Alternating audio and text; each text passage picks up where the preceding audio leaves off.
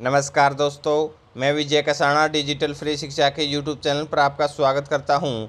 दोस्तों Haryana staff selection commission के द्वारा जो कल एग्ज़ाम लिया गया और आज एग्ज़ाम होने वाला है उसकी कब तक आंसर की आएगी ऑफिशियल आंसर की, की बात कर रहे हैं साथियों।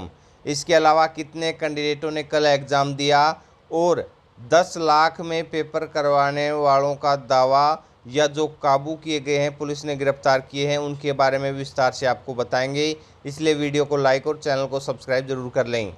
चलिए साथियों, अब आपको विस्तार से खबर दिखाते हैं। ये देखिए, स्क्रीनिंग परीक्षा में अठहत्तर परसेंट हाजिरी, हिसार फरीदाबाद में दो दलाल दरे। साथियों, ये दलाल कुछ युवाओं को चंगुल में फंसाने की कोशिश कर रहे थे।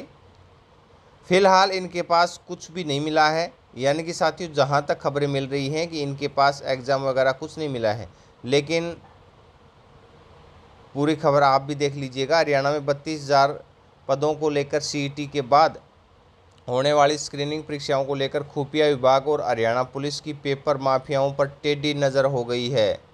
रविवार को कैटेगरी नंबर सत्तावन के दौरान हिसार और फरीदाबाद पुलिस ने दो दलालों को काबू किया है, जो 10 से 20 लाख का लालच देकर अभ्यर्थियों को परीक्षा पास कराने का झांसा दे रहे थे।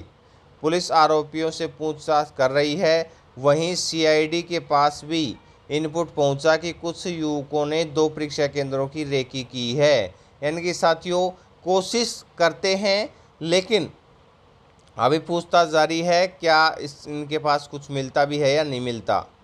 पाँच जिलों पंचकुला, कुरुक्षेत्र, करनाल, पानीपत और हिसार में स्थापित परीक्षा केंद्रों पर अठहत्तर प्रतिशत अभ्यर्थी परीक्षा देने पहुँचे।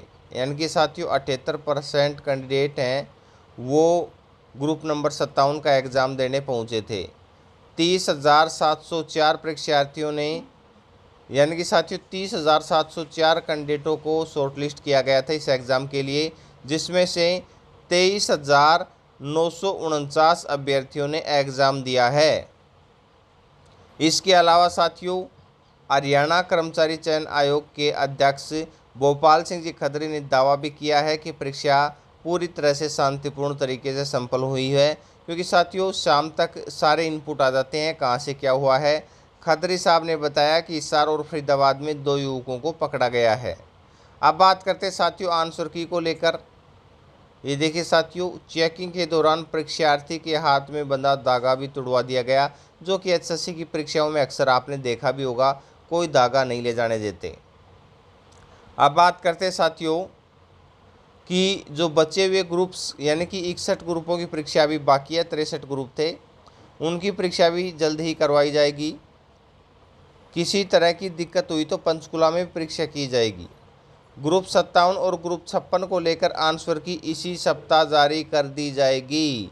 जी हाँ साथियों बड़ी खबर हम कह सकते हैं कि ग्रुप छप्पन और सत्तावन सत्तावन का कल हो लिया ग्रुप छप्पन का आज एग्ज़ाम है और इन दोनों के आंसर की इसी सप्ताह जारी कर दी जाएगी। ग्रुप छप्पन का आज एग्ज़ाम देने वाले सभी साथियों को डिजिटल फ्री शिक्षा यूट्यूब चैनल की तरफ़ से हार्दिक शुभकामना है और ये साथी अपने मनसूबे में कामयाब रहें या साथियों, इन साथियों की जो तैयारी है, उसका फल इन कैंडिडेटों को मिले। ऐसी हमारी शुभकामनाएँ है। ऐसे ही और बेहतरीन अपडेट के लिए चैनल के साथ बने रहें। अपना कीमती समय देने के लिए बहुत बहुत धन्यवाद। मिलते हैं नेक्स्ट वीडियो में।